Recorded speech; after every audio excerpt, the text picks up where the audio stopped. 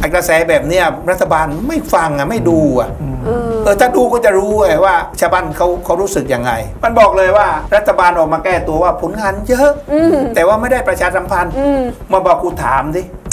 ว่าหนึ่งช่อง 11เนี่ยของใครเออของมึงใช่ไหมค่ะอสมท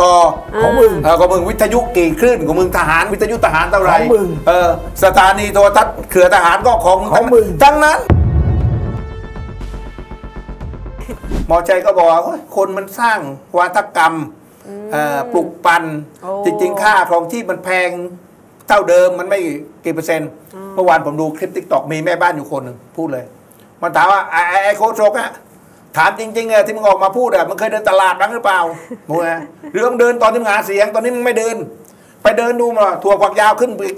กิโลละเท่าไหร่อ่าเออใครอะมาบอกเมื่อก่อนมันซื้อได้โลลูกละสี่บาทอะ สามบาทกว่า ตอนนี้ห้าบาทกว่าสกายเบอร์ศูนย์อะอ่าเออ แล้วมันก็ไล่หมดว่าอะไรราคาเท่าไหร่เลยเออมันบอกไม่ขึ้นได้ไงไอ้อย่างเนี้ย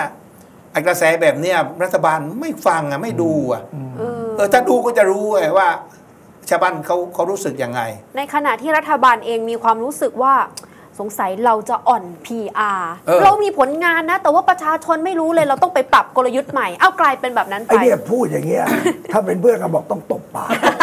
ว่าเป็นรัฐบาลเนี่ยพีอาอยู่ในมือหมด ใช่ ทุกสื่อเลย เอาไม่ต้องใครอะเอาสื่อกระจอกกระจอกแบบของกูเนี่ยเออยังโดนเรียกไปพูดเลยใช่เออ โดนเรียกไปให้พูด เออ ไม่ให้พูดตอนนี้ก็ฮะให้พูด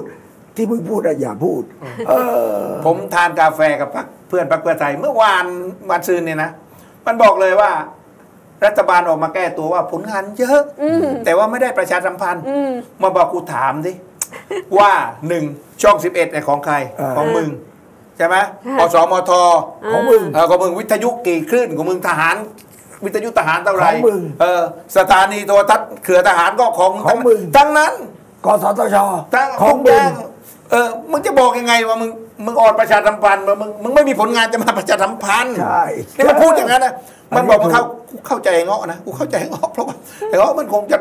มันคเหลืงอจะอด เต็มเออเหลือเต็มทีจริงๆอะเออ คือมันไม่ใช่ว่าไอ้เงาะไม่ใช่ว่ามันไปไหนมันก็เหาะไปได้นะมันก็เดินกับชาวบ้านนี่แหละมันเดินกับพวกชาวบ้านชาวบ้านก็มาบอกไงมันก็เห็นไงอืมเออพอเห็นก็สะท้อนสะท้อนก็พูดความจริงไงคราวนี้มันรับความจริงไม่ได้ไงเออพอรับความจริงไม่ได้ไอ้คนที่อยู่รอบข้างหมออ่าอย่างหมอมิ้งเนี่ยอยู่รอบข้างนายกเนี่ยก็ออกมาโต้ไง ใช่เออใช่ก็มาปกป้องกันอะไรกันเนี่ย คือ คือเขาเรียกว่าอะไรปกป้องแบบทรงเดชอะ คือไม่รู้ไงอืมว่าความเป็นจริงเนี่ยมันคืออะไร หมอมิ้ง